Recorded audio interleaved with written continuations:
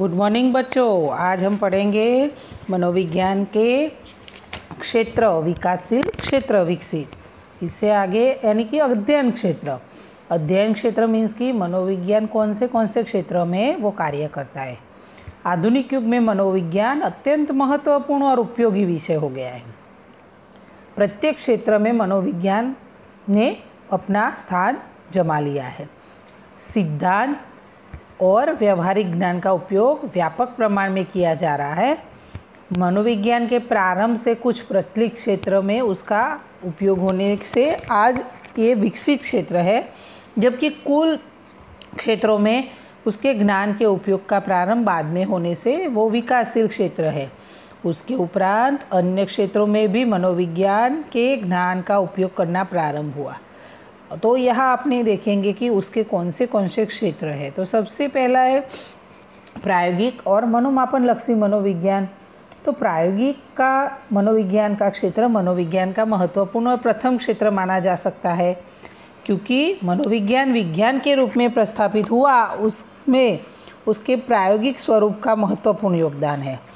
तो इस क्षेत्र में कार्य करने वाले विशेषज्ञ मनुष्य और प्राणियों पर प्रायोगिक अध्ययन करके परिणाम और सिद्धांत का निष्कर्ष निकालने का प्रयास करते हैं।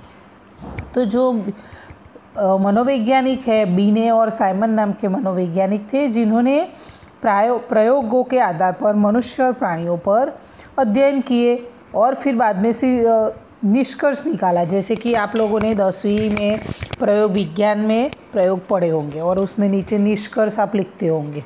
तो उसी तरह से यहाँ मनुष्य और प्राणी के व्यवहार पर वो अध्ययन किए उन्होंने और बाद में निष्कर्ष निकाले। जब तक संभव हो सके, मनुष्य पर तब तक और लंबे, जब संभव न हो तो प्राणी पर अध्ययन किए जाते हैं। यानी कि जहाँ ऐसी कभी कभी क्या होता है कि मनुष्य पर हर प्रयोग संभव होता नहीं है, पर जहाँ तक वो संभव है, वहाँ तक मनुष्य पर और बाकी प्रयोग प्राणियों पर अध्ययन किए जाते हैं। मनुष्य के व्यवहार के साथ जुड़ी हुई सरल और जटिल मुद्दों की जानकारी, सिद्धांत, नियमों की जाँच के लिए और नए सत्यों को उजागर करने के लिए ये महत्वपूर्ण क्षेत्र है। विकास अत्यंत बड़े प्रमाण में हो रहा है। इस क्षेत्र का इसमें काम करने वाले विशेषज्ञ मनुष्य प्राणियों पर अध्ययन करके नए तथ्य उजागर कर रहे हैं। यानी कि आपको बारहवीं में पढ़ने में आएगा कि अलग अलग प्राणियों पर अध्ययन करके शिक्षा की रीतियाँ। मीन्स कि मनुष्य कैसे सीखता है, व्यवहार कैसे करता है। तो छोटे बालक होते हैं तो कोई दो वस्तु का भेद उसको समझाना होता है तो अपने उसको शिक्षा देते हैं और एक में प्रबलन देते हैं। तो शिक्षा और प्रबलन देते हैं, वो व्यवहार सीखता है तो उस पर अपने प्रयोग कर सकते हैं। उस तरीके से बड़े कोई भी व्यक्ति को गलती को, गलती में से सुधारना है, उसको सिखाना है कि ये नहीं करना है तो उसके लिए उसको शिक्षा दी जाती है। तो ये सब उस तरीके से प्रयोग ही है एक प्रकार के।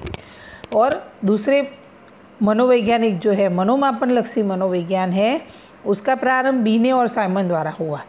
ये प्रायोगिक मनोविज्ञान का आगे अपने देखा, उसके बाद मनोमापन लक्षी मनोविज्ञान का प्रारंभ बीने और साइमन ने किया। इस क्षेत्र में मनुष्य के व्यवहार में अलग अलग पहलुओं, जैसे कि बुद्धि, अभियोग्यता, अभिरुचि, व्यक्तित्व, सिद्धि, पूर्वग्रह, मनोवृत्ति आदि का मापन किया जाता है।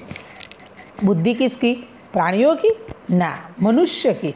बुद्धि, आप लोगों को ऐसा लगता है कि मापन, बुद्धि का मापन कैसे हो सकता है?